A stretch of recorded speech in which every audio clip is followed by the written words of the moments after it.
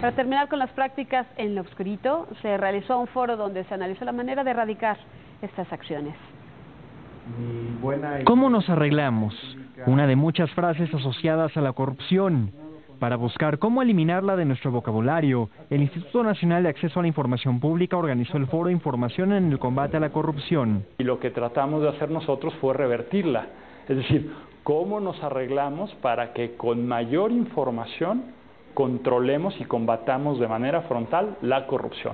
Expertos y autoridades analizaron las prácticas de corrupción en el ámbito empresarial. Los principales momentos para dar eh, una mordida o un soborno suelen ser acelerar un trámite o recibir una licencia y por lo tanto donde más sucede es en el ámbito local, en el caso del gobierno, ¿no?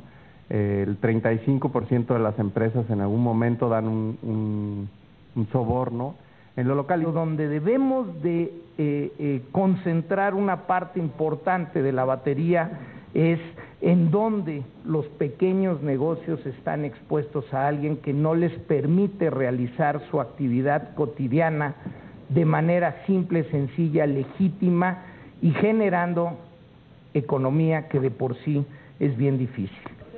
Otra causa es la falta de consecuencias. La diferencia no radica en la genética o en la idea de culturización de la corrupción. La diferencia está en el tipo de instituciones que combaten, también como aquí se ha dicho, la corrupción y la eficacia de los resultados de las mismas. ¿Cómo rompemos el círculo viciado de la absoluta desconfianza? ¿Cómo volvemos a confiar en que la palabra sí vale, en que cada quien va a hacer lo que le corresponde de manera transparente y de manera de construcción de comunidad.